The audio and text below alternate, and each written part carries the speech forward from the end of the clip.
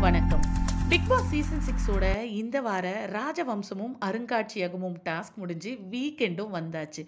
Twenty four hours நடந்த இந்த டாஸ்கில் அரசபை சார்ந்தவங்க காட்ஸ் சேவகர்கள்னு மூணு டீமாக பிரிஞ்சிருந்தாங்க. இதில் சேவகர்கள் டீமில் இருந்தவங்க மைனா சிவின் அமுதவாணன் கதிரவன். அவங்க தனக்கு கிடைச்ச அந்த சின்ன ரோலாக இருந்தாலும் அந்த ரோலில் தங்களுடைய முயற்சியை சுவாரஸ்யமாக வெளிப்படுத்தியிருந்தாங்க. குறிப்பாக சிவின் தனக்கு கொடுக்காத கதாபாத்திரத்தை செய்ய ஆரம்பித்து சாப்பாடில் உப்பு போட அதுதான் சூடு பிடிக்க ஆரம்பிச்சதுன்னு சொல்லணும். இல்லைனா இந்த டாஸ்க் எப்படி போயிருக்கோன்னே சொல்ல முடியாது. சீக்ரெட் டாஸ்க் கொடுக்கப்பட்ட ரக்ஷிதா நசீம் எவ்வளோ முயற்சி செய்தும் அது முடிக்க முடியாமல் போக காட்ஸாக இருந்த தனலக்ஷ்மி ஆயிஷா ஏடிகே குயின்சி அண்ட் நிவாஷினி தூங்காமல் இருந்து செஞ்சாங்கன்னு தான் சொல்லணும். குறிப்பாக தனலக்ஷ்மி அண்ட் ஆயிஷாவை தான் சொல்லணும்.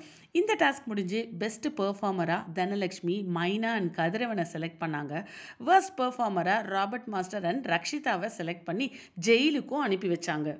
இந்த சீசனோட ஒவ்வொரு வீக்கெண்ட்லேயும் ஏதாவது ஃபயரிங்கான மூமெண்ட் இருந்துக்கிட்டே இருக்குது அப்படி இல்லைன்னா ஆடியன்ஸ் வருத்தப்படுற மாதிரி ஆயிடுது. ஸோ அப்படி பார்க்கும்போது இந்த வீக்கெண்டில் இந்த டாஸ்க்லேருந்து எந்த டாபிக்ஸ் எல்லாம் பேசப்படும் கமல் சார் எபிசோடில் குறிப்பாக அசீம் அண்ட் விக்ரமன் இஷ்யூ பேசப்படும் தோணுது. அது மட்டும் இல்லாமல் சீக்ரெட் டாஸ்க் நடத்த முடியாமல் போன கோபத்தை தனலட்சுமி அண்ட் ஆயிஷா மீது அசீம் வெளிப்படுத்தியது பற்றி பேசப்படணும் எதிர்பார்க்கப்படுது.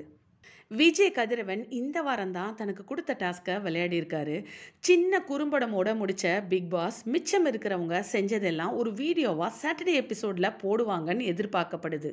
இந்த வாரம் நாமினேஷனில் அசீம் ஆயிஷா தனலக்ஷ்மி நிவாஷினி குயின்சி அண்ட் ராபர்ட் இருந்திருக்காங்க. இதில் குயின்சி ராபர்ட் அண்ட் நிவாஷினிலேருந்து யார் எவிக்ட் ஆவாங்கன்னு நீங்கள் நினைக்கிறீங்கன்றத கமெண்ட் செக்ஷனில் கமெண்ட் பண்ணுங்கள் இது போன்ற பிக் பாஸ் கண்டென்ட்ஸ்க்கு இந்த சேனலை சப்ஸ்கிரைப் பண்ணிக்கோங்க. மீண்டும் அடுத்த வீடியோவில் சந்திக்கிறோம்.